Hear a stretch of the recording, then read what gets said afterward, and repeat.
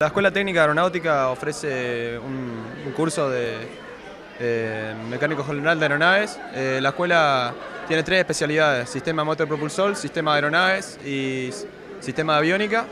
Este, las tres especialidades se eligen durante los tres años.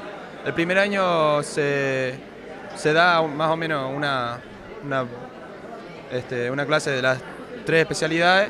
El segundo año se elige la especialidad que uno quiera dar para el tercer año. Este, se profundiza, para el tercer año se toma en práctica esa especialidad este, y uno después de finalizar eh, los tres años se recibe como mecánico general de aeronaves. ¿Cuáles son los requisitos? Y primero, eh, tener entre 16 y 21 años, tener ciclo básico aprobado completamente, este, eh, ser soltero, no tener hijos, y, luego se dan pruebas de ingresos y ah, es eso nada más. Nosotros somos de la Fuerza Aérea, estamos ofreciendo el ingreso a la Escuela Militar de Aeronáutica, este, donde son cuatro años para la formación de oficiales de la Fuerza Aérea. En este caso, eh, la opción eh, va a determinar que el egresado salga piloto dentro de la misma Fuerza Aérea. Eh, en el tercer año de la escuela tenemos un curso de selección de vuelo donde se seleccionan a aviadores y navegantes. Este, los que aprueban el curso de selección quedan pilotos y los que no navegantes.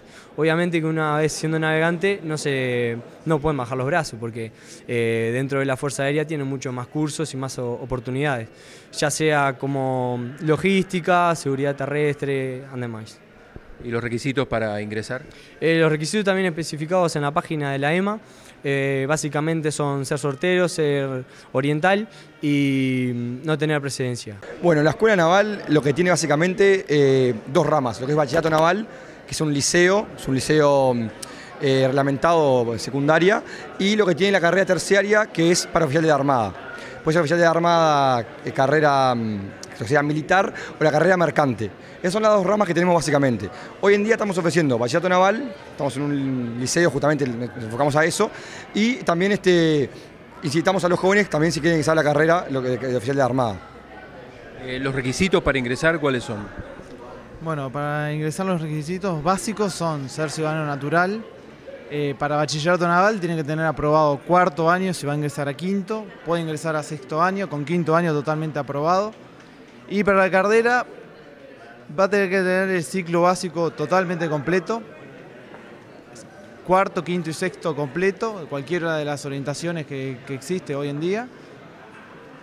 Y eso sería tanto para Marina Militar como para Marina Mercante, que lo acaba de comentar ahí el alumno recién. ¿Y a nivel de, los chicos han demostrado algún interés y eso? ¿Se, ¿Se, muestran interesados en esta opción? Se muestran muy interesados básicamente en lo que es bachillerato naval, para conocer un poco lo que es esta carrera que no es tan difundida ni tan conocida por esta zona, por lo que hemos, hemos observado hasta ahora. Nosotros somos cadetes de la Escuela Militar, eh, la carrera cuenta de, cuatro años, ¿verdad? En la cual uno se forma para ser oficial del ejército. Y eso sería, vendría a ser la, la oportunidad de estudio que nosotros estamos ofreciendo en el día de hoy. En este caso, me decías, ¿son cuatro años la carrera? Son cuatro años la carrera, en la cual nos, presenta diversas oportunidades, ya sea de viajar, estudiar y crecer profesionalmente en distintos aspectos. ¿A nivel de requisitos para los aspirantes que quieran ingresar?